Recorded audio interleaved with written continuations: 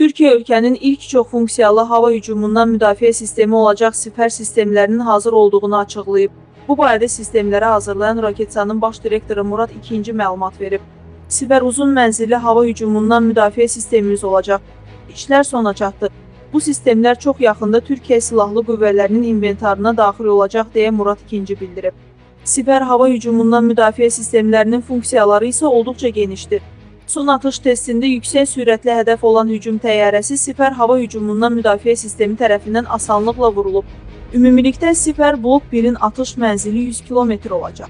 Atış zamanı hədəfin aşkarlanması və izlənilməsi Aselsan tərəfindən hazırlanmış Türkiyənin yerli radarı ilə həyata keçiriləcək. Hava hücumundan müdafiə sistemlərinin üç önəmli xüsusiyyəti olacaq.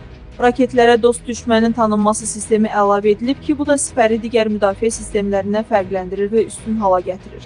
İkinci ən diqqət çəkən məqam müdafiə sistemlərinin eyni vaxtda bir neçə hədəfi nişan alaraq ardıcıl atəş açmaq bacarığıdır.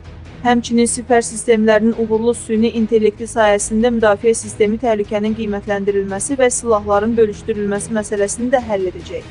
Bu xüsusiyyətlərlə sipər dünyanın ən müasir hava hücumundan müdafiə sistemləri ilə yarışa biləcək. Siperin 2023-cü ildə Türkiyə Silahlı Qüvvələrində istifadəyə veriləcəyi gözlənilir. Qeyd edək ki, bir neçə gün bundan qabaq Türkiyə Silahlı Qüvvələrinə Tayfun uzaq mənzilli raketləri də daxil edilib.